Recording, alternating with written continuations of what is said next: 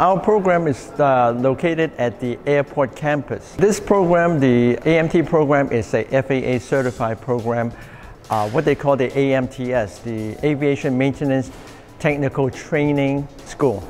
So this is one of the ways, uh, one of two ways to get your certification to become an aircraft uh, technician. And uh, the other way is if you were to become a apprentice for airlines or working in the military, that's the other way.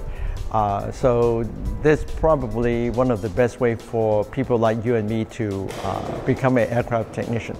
Our placement rate after graduate, graduation and after they have received their federal licensing or certification is 100%. Typically, they will become an aircraft technician working on airplane either for an airline or for a small repair station. The goal of these individuals at this point is to become a technician.